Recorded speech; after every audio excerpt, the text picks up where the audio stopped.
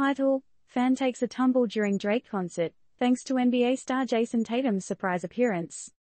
TL, DR, a woman attending Drake's It's All a Blur tour had an unfortunate, but highly entertaining fall down six rows of stairs after seeing NBA star Jayson Tatum join Drake on stage.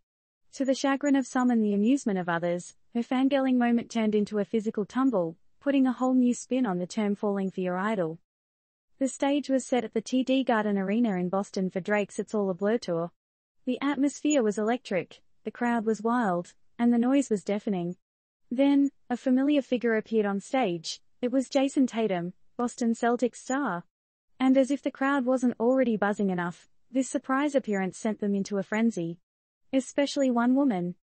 This lady, bless her heart, started to jump up and down in sheer excitement, while screaming at the top of her lungs, I love you, Jayson. Her ecstatic display of affection, however, rapidly turned into a literal downfall, as she ended up face planting down six whole rows of stairs. The shock and surprise made her slip, trip, and flip. For sure, we've all been there, letting out our inner fangirl or fanboy.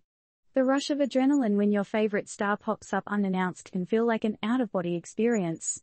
But for our lady in question, it was an experience that took a stair-tumbling turn for the worse. So, here we are, stuck in this moment. A moment of madness. A moment of ecstasy. And a moment of absolute hilarity. If we take a moment to ponder, what would we do if our idol walked onto a stage unexpectedly, would we also risk a neck-breaking tumble down a flight of stairs?